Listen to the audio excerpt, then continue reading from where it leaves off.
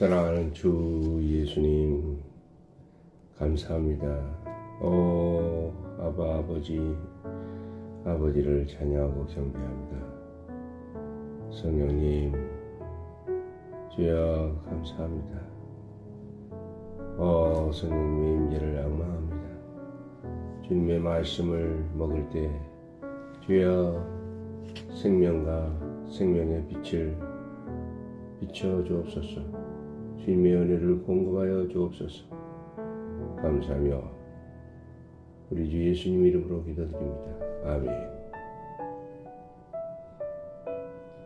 그대가 하나님의 집에서 어떻게 저신해야 하는지 알도록 하려는 것입니다. 디모데전서 3장 15절 말씀 바울이 디모데에게 공급한 것은 전적으로 교회 안에서 어떻게 저신 하는지에 관한 것이었습니다. 교회 안에서 저신하는 법은 하나님의 말씀을 사랑하는 사람이 되는 것입니다. 그리스도의 머리의 건의를 존중하고 진리를 붙드는 것은 교회 생활 안에서 처신하는 법을 알기 위해 우리가 반드시 따라야 하는 두 가지 통제 원칙입니다. 하나님의 집인 교회 안에서 합당하게 처신하려면 우리는 건강한 가르침에 주의해야 합니다.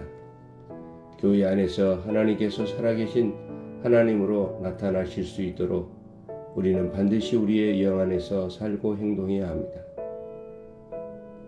디모데전서 3장 16절 말씀 모두가 인정하듯이 경건의 비밀은 위대합니다. 디모데 후서에서 경건이라는 중요한 단어가 아홉 번 사용됩니다. 경건은 실질적이고도 살아있는 것이지만 보이지 않기 때문에 비밀입니다. 비밀, 진리에 대한 온전한 지식은 경건에 따른 것입니다. 하나님의 영원한 경륜의 진리, 곧 실제는 경건에 따른 것인데, 경건은 바로 하나님께서 사람으로 나타나시는 것입니다. 경건은 하나님을 닮고 하나님과 같고 하나님을 표현하는 것입니다. 경건은 단지 외적인 문제가 아닙니다. 디모데전서 3장 16절에서 나타나셨고라는 말은 경건이 외적인 표현을 가진 내적인 생명이라는 것을 시사합니다. 그리스도 안에 믿는 이들로서 우리는 경건을 추구해야 합니다. 경건을 추구하는 것은 하나님을 나타내는 일상생활을 하는 것입니다.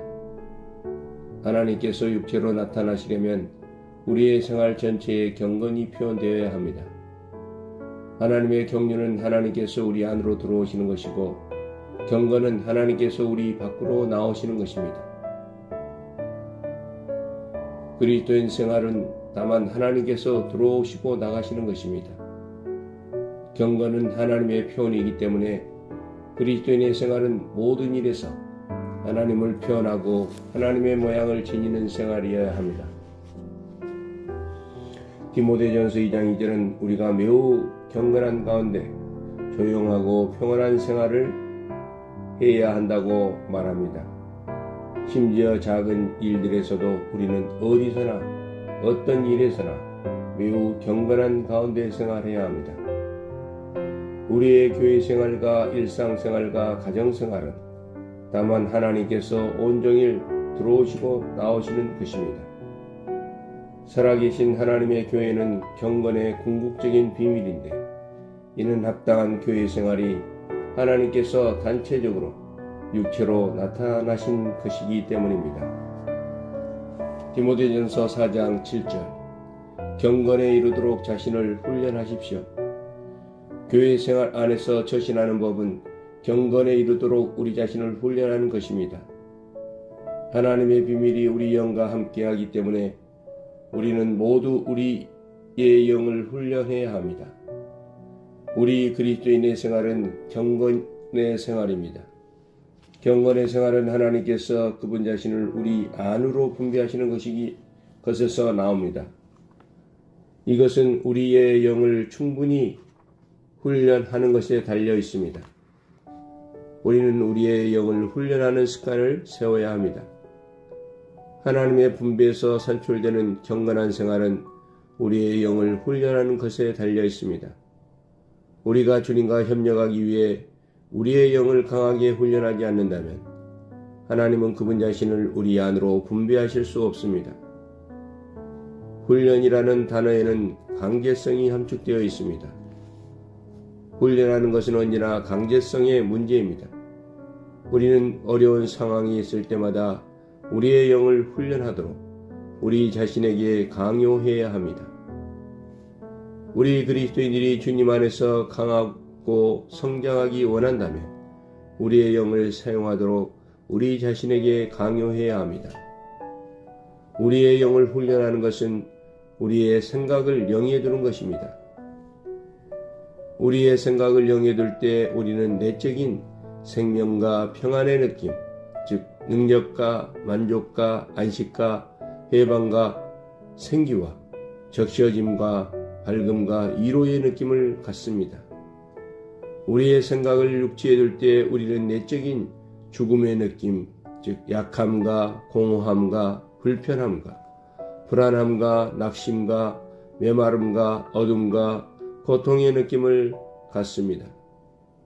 우리 그리스도인의 생활은 옳고 그름의 기준에 따른 것이 아니라 영에 따른 것이며 우리는 생명과 평안이라는 내적인 느낌에 의해 영을 압니다.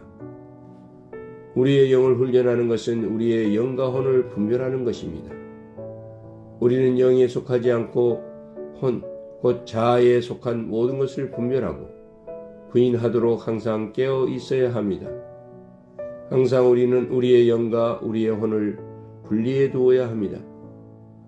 원수의 계략은 언제나 우리의 영과 우리의 혼을 혼합시키는 것입니다.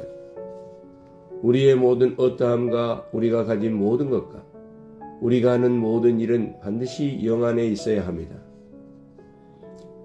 우리에 대한 하나님의 모든 어떠하심은 우리의 영 안에 있습니다. 경건에 이르도록 훈련하는 것이 우리의 영을 훈련하는 것임을 입증하려면 우리는 디모데 후서로 가야 합니다. 여기서 바울은 하나님께서 우리에게 강한 사랑하는 맑은 영을 주셨다고 말합니다. 그러한 영은 강한 의지와 사랑하는 감정과 맑은 생각과 함께 합니다. 디모데후서 1장 7절에서 영이라는 단어는 성령께서 거듭나게 하시고 내주하고 계시는 우리 사람의 영을 의미합니다. 하나님의 은사를 부채질하여 불타오르게 하는 것은 우리의 거듭난 영과 관련이 있습니다. 능력에라는 말은 우리의 의지를 가리키고 사랑의라는 말은 우리의 감정을 가리키며 맑은 생각의라는 말은 우리의 생각을 가리킵니다. 경건에 이르도록 우리 자신을 훈련하는 것은 그리스도의 몸인 교회를 건축하도록 우리의 영을 훈련하여 일상생활에서 그리스도를 사는 것입니다. 사랑하는 주님, 주여 경건에 이르도록 우리 자신을 훈련하는 것은 그리스도의 몸인 교회를 건축하는 것입니다. 그리스도의 몸인 교회를 건축하기 위하여 우리의 영을 훈련하여 우리가 일상생활에서 그리스도를 사는 것이 주여 우리 자신을 경건에 이르도록 훈련하는 목적입니다. 사랑하는 주님, 하나님의 집인 교회에서 어떻게 처신하는지를 알도록 주여 우리에게 계시하여 주심을 감사합니다. 주여 우리로 경건에 이르도록 우리 자신을 훈련할 수 있게 원합니다. 주여 우리 자신에게 주여 강, 강제성을 띠고 주여 우리의 영을 훈련하도록 우리 자신에게 강요할 수 있게 원합니다. 주여 우리의 몸을 처복정시키고 자아를 부인함으로 영어를 훈련할 수 있기를 원합니다. 주여 영을 훈련하기 위하여 우리의 생각을 영위해 두는 것을 훈련하기 원합니다.